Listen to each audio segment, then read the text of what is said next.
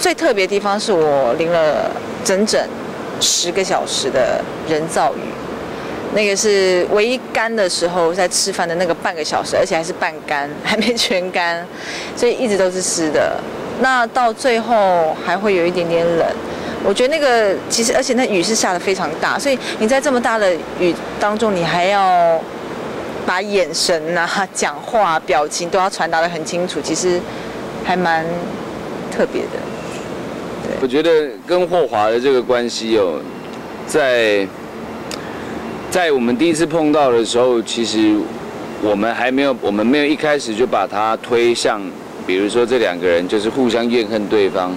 或是推向这两个人是好朋友，对，我们让他其实是蛮居中的，因为在那个过程里面，坦白说，我自己在想象里面之后，齐轩的选择的时候，嗯，也许我要选择钟无艳或夏迎春，但也许也会出现多一个选择，就是啊，我这样子会伤害到霍华，哎，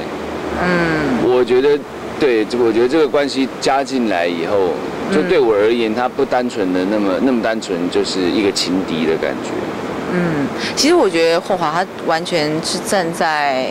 旁观者的角度，哦对，常常去在看我们的呃中间的一些关，我们两个的关系，甚至是可能下一村是我们三个人关系。可是其实事实上他其实也在这关在关系里面，所以他以为他是旁观者，可是他其实就在里面。所以我觉得那个角色在讲出来的话会很有趣，他有时候很多话都很有趣。你不是不想讲吗？我来讲就好。我们刚刚有看到。后续最新的剧本走向，因为讲那么多，其实那些都已经是看过的东西，大家还是希望要看到还没有看到、知道精彩的剧情。对，就是景华一开始就钟无艳这个角色最大的就是特征就是她的胎记嘛，对，有可能出现变化，在后面的剧情里，哈，有可能出现变化，然后。呃，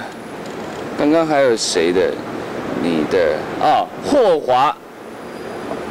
有可能出现变化，在我们即将拿到的第七集里面。嗯，所以各位观众，如果你们想要知道会发生什么变化，其实真的要继续的锁定每个礼拜天晚上十点钟台视钟无艳。